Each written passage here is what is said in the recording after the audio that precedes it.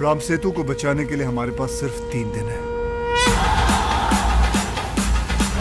आज से नवरात्रि स्टार्ट हो चुकी है और नवरात्रि के सब अवसर पर अक्षय कुमार ने आज राम सेतु फ़िल्म का टीजर रिलीज़ कर दिया है और टीजर देखने में काफ़ी अच्छा है। मतलब कि हम अक्षय कुमार की पिछली फ़िल्मों की टीजर ट्रेलर को देखें तो उनसे तो ये टीजर बेटर है।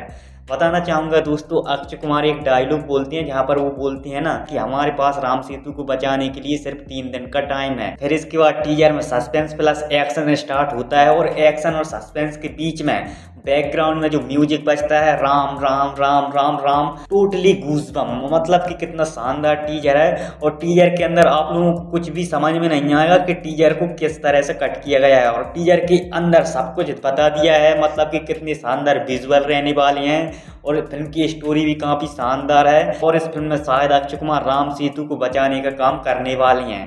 बताना चाहूँगा दोस्तों टीजर को देखने में काफ़ी ज़्यादा मज़ा आया है, क्योंकि टीजर का बैकग्राउंड काफ़ी अच्छा है मतलब कि राम राम राम, और टीजर को रिलीज़ भी काफ़ी शुभ दिन पर रिलीज़ किया है, क्योंकि आज तक नवरात्रि स्टार्ट हो चुकी है तो आज फ़िल्म का टीजर रिलीज़ कर दिया। वैसे दोस्तों, इस फ़िल्म की टीम ने टीजर को शुभ दिन तो रिलीज़ किया है बट फ़िल्म को रिलीज़ होने में कितना कम टाइम रह गया है मतलब कि उनतीस दिन, और आज तो फ़िल्म का टीजर आया है, अभी ट्रेलर आना बाकी है। हालाँकि दोस्तों, हम लोग देखते हैं कि इस फ़िल्म का प्रमोशन किस तरह से होता है। वैसे दोस्तों, इस बार अक्षय कुमार सर का लुक भी थोड़ा सीरियस लग रहा है। मतलब कि इस फ़िल्म में अक्षय कुमार सर ने थोड़ी ज़्यादा मेहनत करी है।